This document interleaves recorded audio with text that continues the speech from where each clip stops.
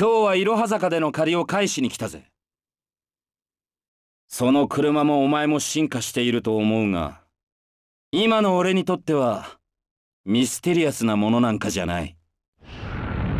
今度こそインドを渡してやるぜ。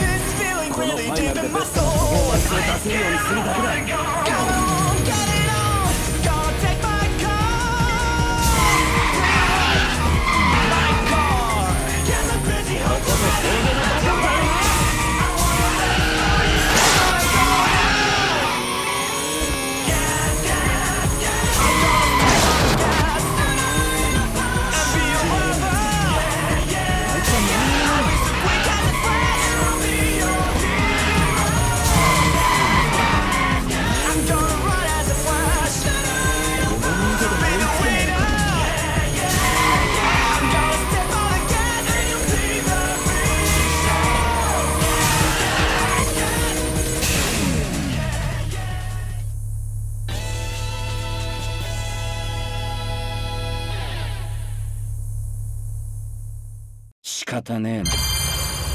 結果は結果。最高の仕事をして負けたなら納得だ。